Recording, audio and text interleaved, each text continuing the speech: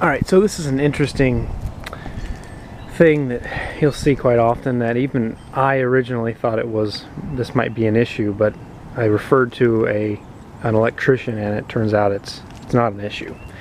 So these wires are coming from the pole. They come down here and they go into connection and then they're connected to you can see the size difference of these wires okay?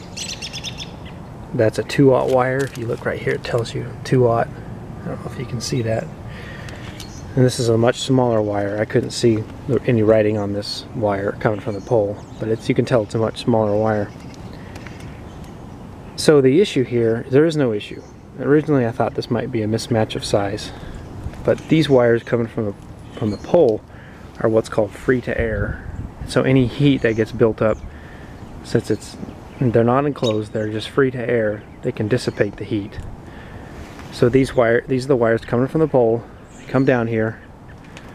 This is actually the support cable and also the it serves as the neutral. And it also well, it serves as the ground and the neutral for the panel. what happens is it's, it's securing these wires here, but then it branches off, comes down, and gets connected. and goes into the serviced head, the service mast, what they'll call it, so there's no issue here.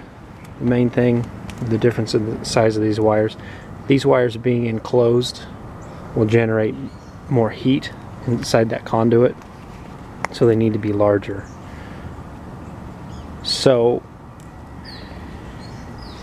keep that in mind if you notice uh, the difference up here going into these service wires. Uh, if in doubt, you can refer to your electrical provider, your service provider, uh, and of course you can always refer to a certified electrician. All right, thank you.